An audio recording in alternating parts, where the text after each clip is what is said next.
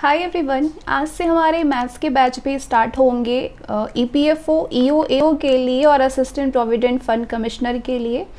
Maths के batch हमने अब तक शुरू नहीं किया था और आपसे कहा गया था कि हमारा जो मास्टर प्लान है मैथ्स की क्लास देने का, वो आपको हम बहुत सारे क्वेश्चन नहीं कराने वाले हैं।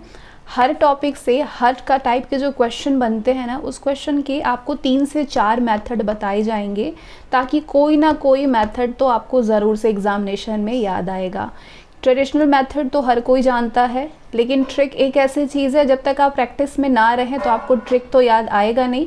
तो इसीलिए हम ट्रिक नहीं, हम आपको एक अच्छे से कॉन्सेप्ट बताएँगे ना, कि वो कॉन्सेप्ट आप कभी भी भूल नहीं पाएँगे। क्वेश्चन आप देखते हो उस तुरंत वो कॉन्सेप्ट आपको याद आएगा और उसको आप सॉल्व कर पाएँगे।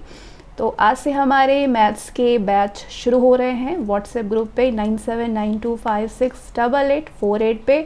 तो आप सेशन को बिल्कुल भी मिस ना करिएगा और जो अब तक ज्वाइन नहीं है, वो फटाफट से ज्वाइन हो जाइए, जितने सारे कंटेंट आपके मिस हो रहे हैं।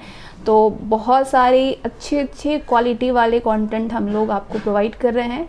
तो ये सारी आपकी प्रिपरेशन में बहुत ज़्यादा हेल्प करने वाली है।